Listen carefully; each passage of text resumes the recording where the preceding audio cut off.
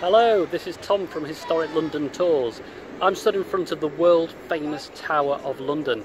Over the past thousand years, this place has been used as a royal palace, a zoo, an armoury, the home of the crown jewels, and a site of torture and execution. On our tour, we'll travel across the City of London, the ancient heart of the capital. We'll find out about the foundations of the city by the Romans 2,000 years ago, how it survived fire and war. We'll visit the city's oldest pub, and we'll also find the easiest way to tunnel into the Bank of England's vaults. So click on the link below for further details.